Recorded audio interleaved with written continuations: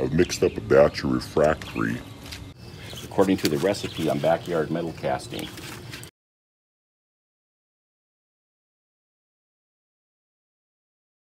And I put it in my, put everything but the, but the clay into the uh, five gallon drum here and uh, rolled it in the Harbor Freight cement mixer. Stuck this in along with a uh, seat cushion. And the main goal here today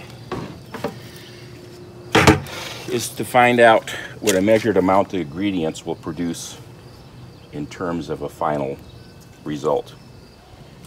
Now we're supposed to mix the water into this mixture without the clay. Let me get a little closer. We're using bentonite, southern bentonite instead of uh, instead of fire clay, and I have doubts about what this will do in terms of being a refractory. But according to the website, one of the websites I seen, Deft Clay, said that you could use said that you could use the uh, in place of fire clay. Now, a lot of other places, people, net wisdom says that's a bad idea. But let's give her a shot and see what happens.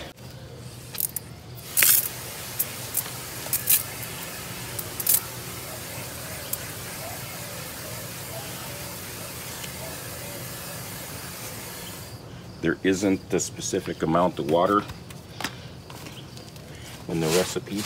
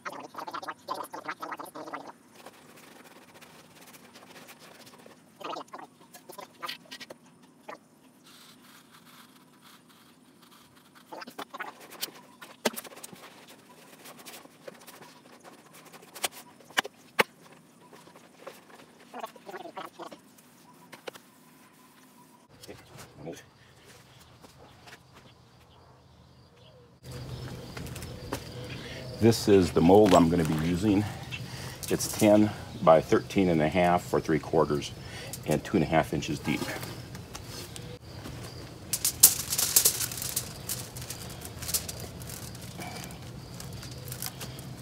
And I definitely want a rammer.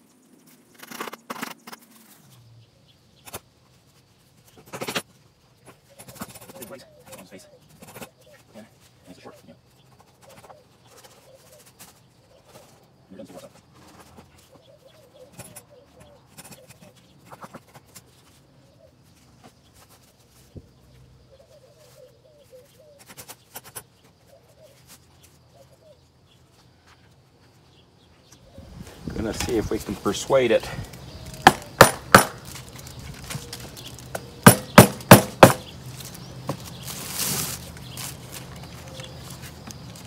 To zoom a little bit more to a rectangular shape.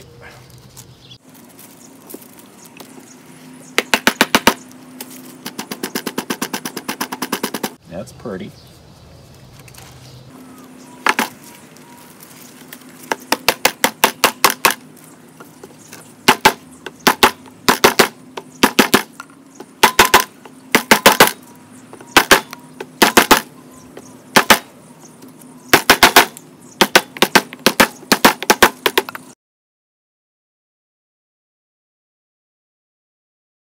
That's it. Be right back. So,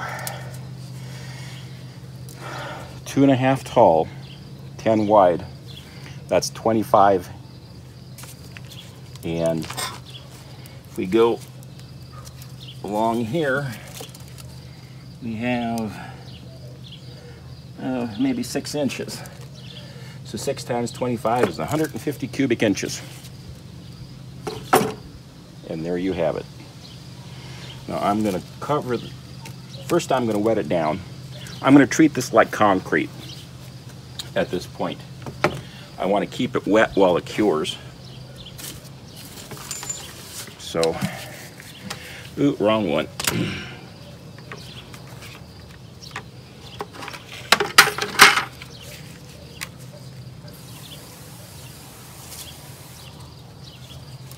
I don't dare try to get it out of the frame at this point.